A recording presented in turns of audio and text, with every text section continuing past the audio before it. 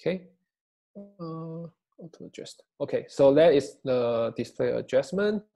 And for the interface, uh, one thing very important about Imaris is the pointer. Pointer. Now we have a select and the navigate mode.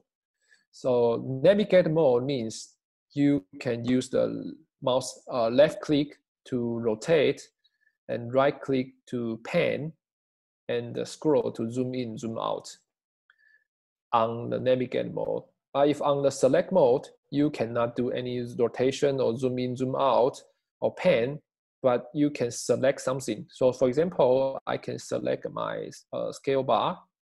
I can move, change the position, and I can do uh, change the size But under the select mode. Okay, and the navigate mode is the to view your data.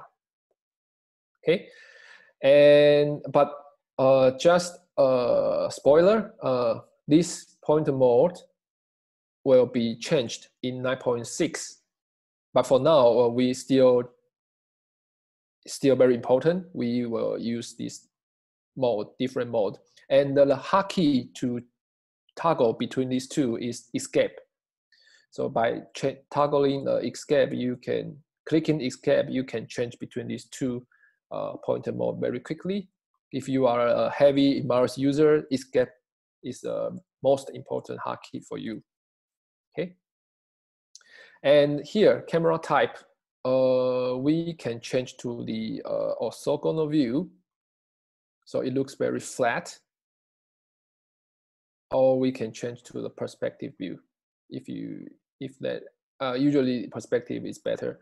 But sometimes orthogonal view is sometimes useful. So we will introduce in the later uh, training sessions. Okay, and on the button right here, you will see some uh, quick reset buttons. So reset to the original uh, position, or you can do uh, rotate, but fit means fit this position into your uh, window. Okay, so reset and the fit. And the